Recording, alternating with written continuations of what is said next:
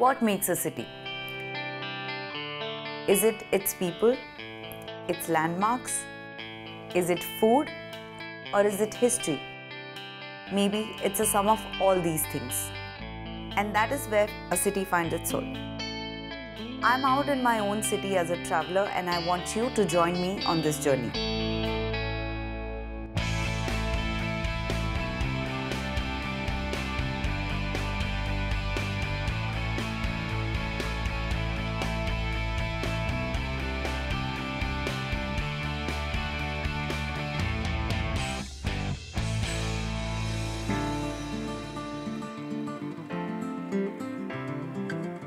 Guess where am I? I'm on a ferry from Gateway of India on my way to UNESCO's World Heritage Site called Elephanta Caves. While people fade away, there's so much that they leave behind in the form of memory for generations to come. The rock cut Elephanta Caves were constructed about the mid 5th to 6th century AD. I have been staying in Mumbai for past 15 years and not once have I visited this place. I'm very excited to find out how it's going to be. चला तर मग जाऊया उडून नाही बोटमधूनच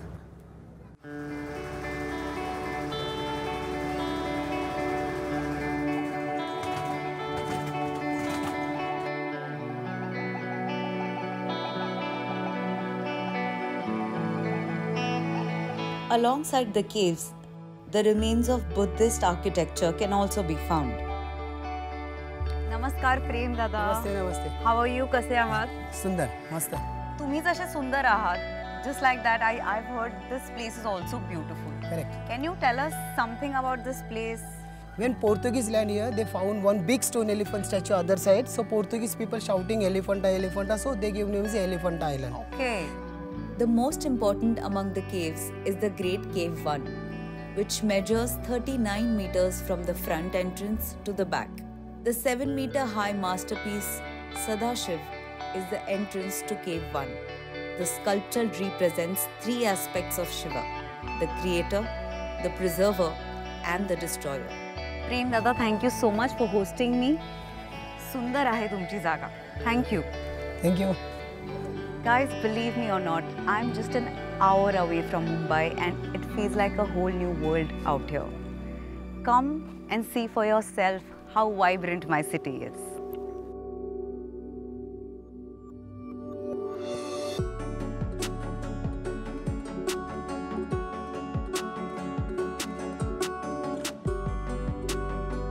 Anyone who wants to catch a glimpse of ancient architecture, this is a perfect place for you. I mean, look where I'm sitting.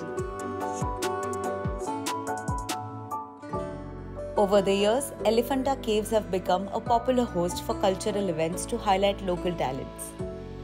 The Elephanta Festival welcomes performers from the whole country to participate in it, showcasing their dancing and artistic prowess. All it takes is desire desire to see, desire to experience, and desire to explore. I am so happy I visited this place. I feel more connected to my city and myself more than ever.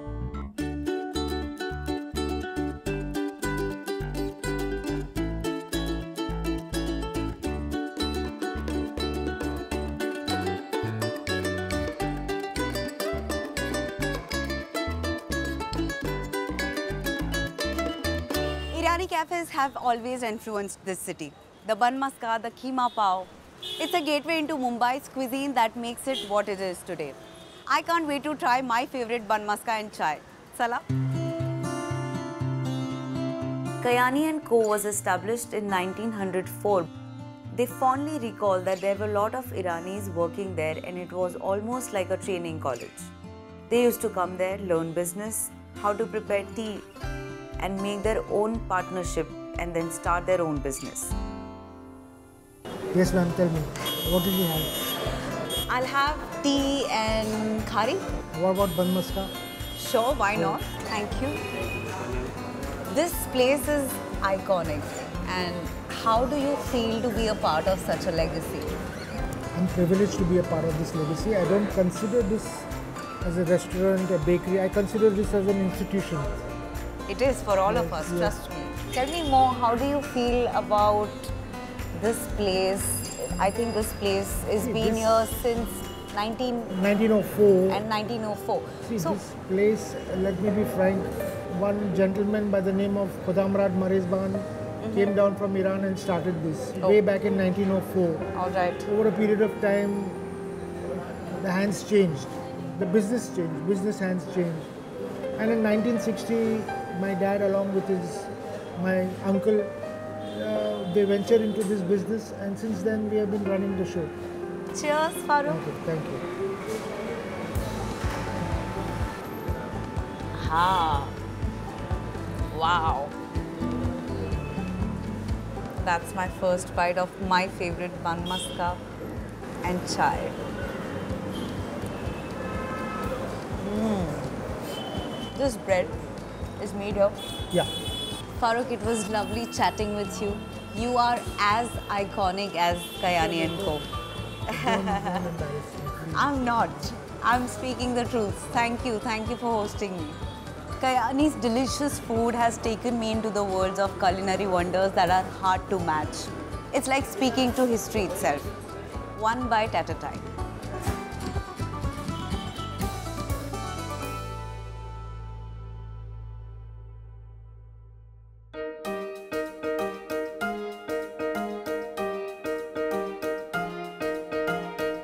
India is the second largest producer of tea and produces 1.26 million metric tons. What better place to check out an exclusive variety of tea than Sancha Tea Boutique? That I hear has more than 40 years of expertise seeped deep into this handpicked leaves of goodness.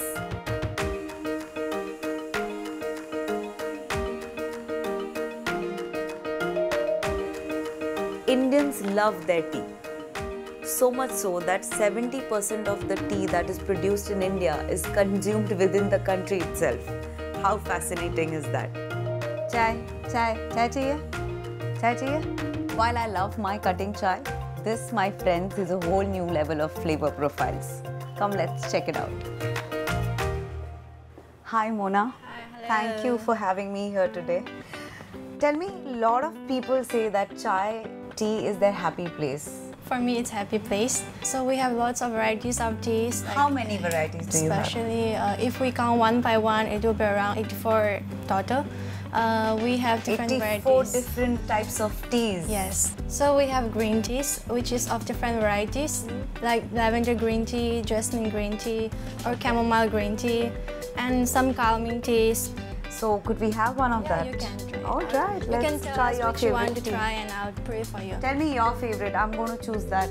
Uh, so my favorite is lavender white tea, and Lavender the white super tea? white is really good. Tea. This is lavender white tea, which is with a hint of mint. Okay.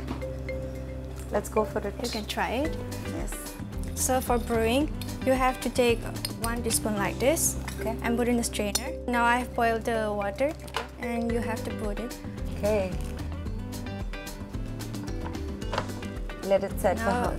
put a lid on it and put a timer for two minutes. Two minutes. Yeah. Yes. Now okay. it's two minutes.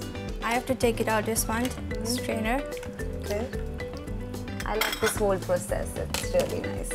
Now your lavender tea is ready. You can Thank you, try it. Mona. Wonderful. It's nice. Don't you just love this place? Everything about this place screams beautiful. I will not keep you busy now. Um, you must get back to. You can try out more teas. Sure, you must get back to your work. Thank you for having me. Thank you for hosting me, and thank you for this lovely cup of tea. Welcome. You just come back and try more Yes, teas. I will.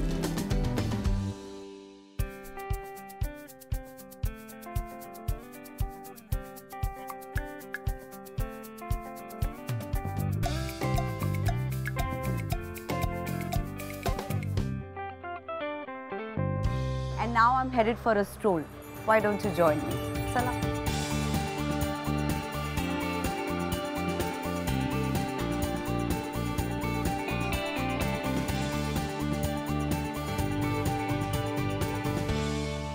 If there's any part of this city that I find myself the most in, is this place, Bandra. Bandra holds a very special significance in my heart. because I bagged my very first Bollywood film right here. Everything happens here business to nightlife, or even a simple walk into the sunset. Mumbai and I always had a special bond. The journey of many dreams began here and successfully took off, just as mine did.